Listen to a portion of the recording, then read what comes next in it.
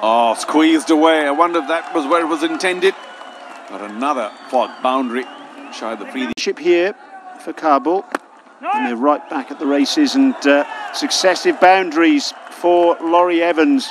He was the top scorer in the 2000. But just another reference to the fact that the Kabul team are right on target.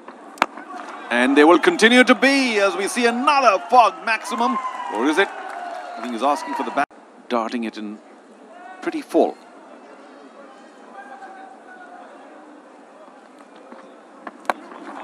Well, that could be a no ball. It's gone all the way for six. Laurie Evans just checking whether that was over waist height or not. Finally gets inside the circle. Oh, full toss. And that's a put away in style. That's a fog maximum six to end the over. Anything can happen anytime. Oh, Evans will get another fog boundary. Didn't get it from uh, the part of the bat that he might have liked. A good point about Shahzad's keeping. Very smart. Standing up. Goes for it.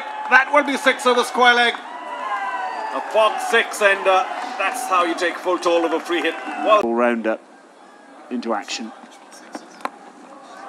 Darts that one in out towards uh, deep square leg. It's gone for four. We got something behind that.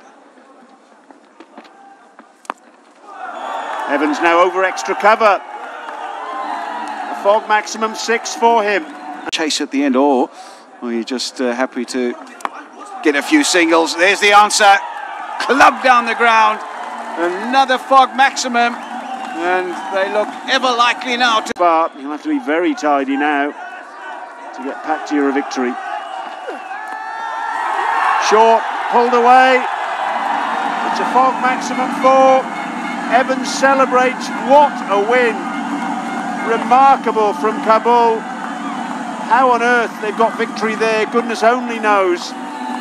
But they've done it from absolutely nowhere.